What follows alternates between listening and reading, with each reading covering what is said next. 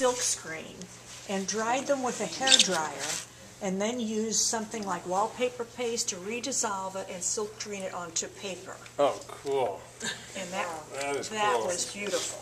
So yeah, I've done things. You can do that with like um, water soluble crayons or pastels. Yes, we can use that too, yeah. Same idea. Mm-hmm.